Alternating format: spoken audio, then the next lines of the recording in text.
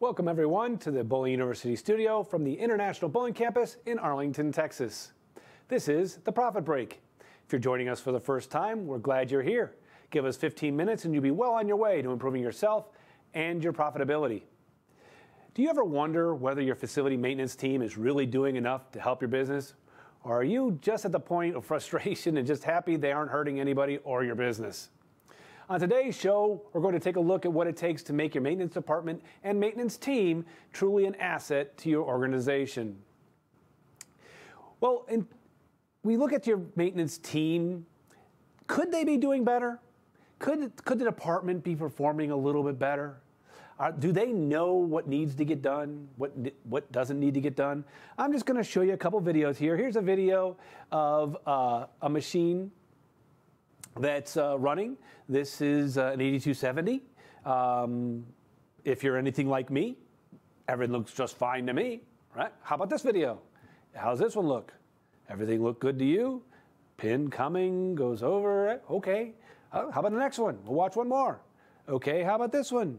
What we got going here? Pin comes up, goes down.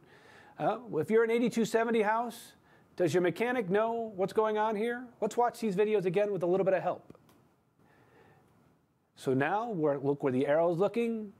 Okay, I'm looking where the arrow's looking. Where we're pointing, I'm looking at the circle. If you're anything like me, I have no clue what's going on here. Is this good? Is this bad? I don't know. So watch another one, same concept.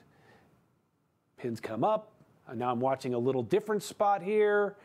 Okay, I'm looking there, I'm staring. I don't know what I'm looking at. One more, same concept. You're even telling me what to look at, and I don't know. It's not my skill set. I don't know. Your mechanic should. This is my point I'm trying to make. We're going to watch these videos one more time and with a little bit of help. This is a good feed.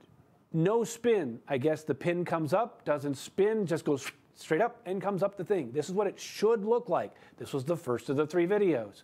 Okay, now I know. Next video. Pins riding too long. Okay, they go too deep. What does that mean? Okay, they go too long.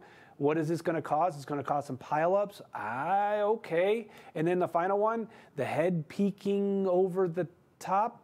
Okay. We, uh, this is actually straight from another profit break. Um, we, if you've ever watched our other profit break on the 8270s, this was taken straight from there. And, and I learned, like you, hopefully there, but we also have the maintenance minutes. And the maintenance minute is a series of uh, videos, much shorter than the profit breaks, uh, what, three, five, seven minutes at the longest, about little things that your mechanic can take a look at and watch to see on how you get your machines running a little bit better, uh, or yourself even to know more importantly, how to hold your team accountable and how to get your team doing the right things. In another profit break, we talk about things that you can do to help them. And this is one of them steering them to resources to help them get better, and maybe even watching some of these yourself and kind of making sure that your team's working the way it's supposed to be working, that you want it to be doing. Because I, my goal, my personal goal is to never have this thing called a breakdown pair ever again. I want to remove it from everybody's vocabulary everywhere in the industry. We should not be leaving lanes dark. It just doesn't make sense to anything uh, that anything we do. The yield management doesn't make sense we should our machines should be working so well that if we ever have to move somebody once maybe a year once every three years i worked in a bowling center many years ago that over five years not once do we even have a blackout not to mention have to move somebody. So it's possible. You can do this. And how do we do it there's the three pillars of bowling maintenance that we talk about and this is where you come in you have to supply the right amount of labor to your team. You have to have the right parts and hardware uh, for them to have the right budget to make this happen.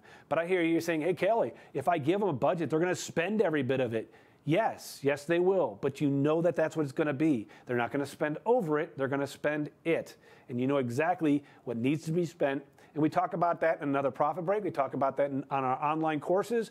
But you need to have that budget and you need to supply it to them. That's your role from the management side of doing it. But it all comes back down to accountability. And how do I hold them accountable to what they're doing? That's the frames per stop.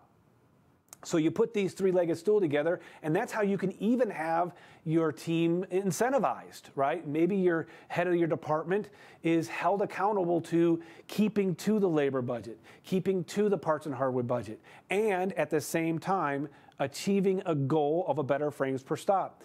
This all makes sense in your center when you start thinking about if I want to charge time bowling versus bowling per, per line, I do that through better frames per stop. And you do this with teamwork.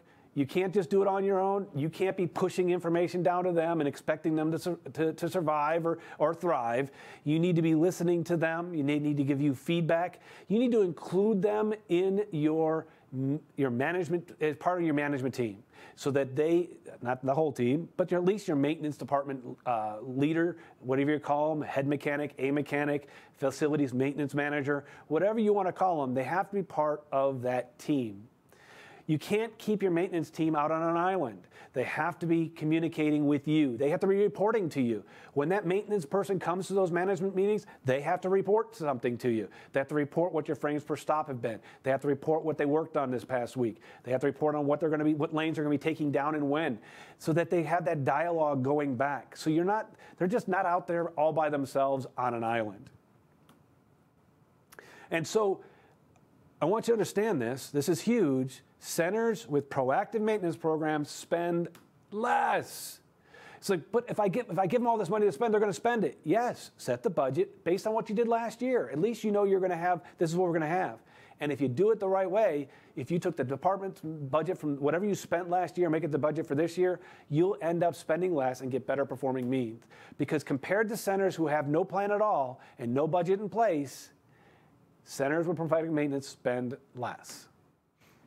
So, as the leader of your organization, it is your responsibility, it's your role to give the maintenance team direction. You've got to steer them. They don't know how to manage a team. You're the manager for a reason. You know how to manage things.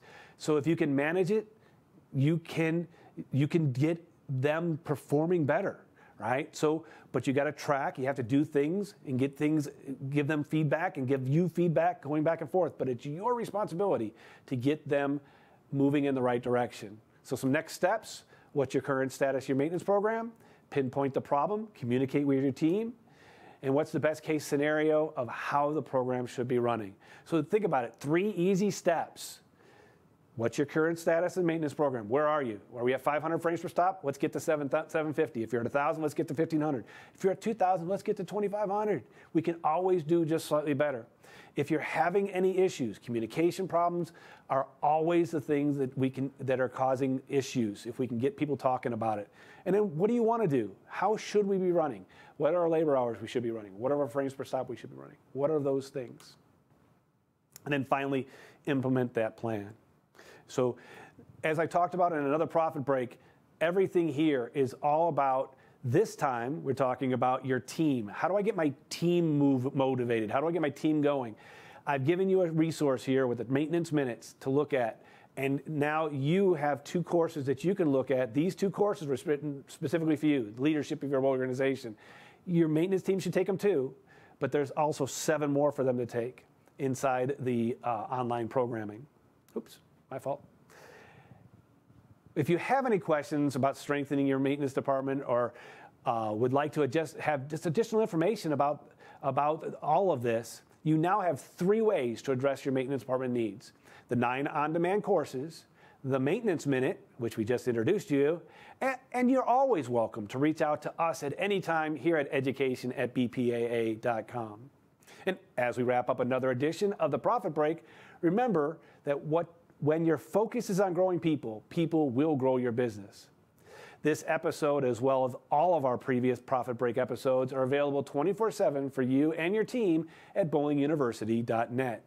Plus, new episodes are available every month, so mark your calendar, watch your email, and join us on Facebook to hear more about the latest episodes. Until then, I'm Kelly Bednar. Do for one what you wish you could do for everyone. We'll see you next time.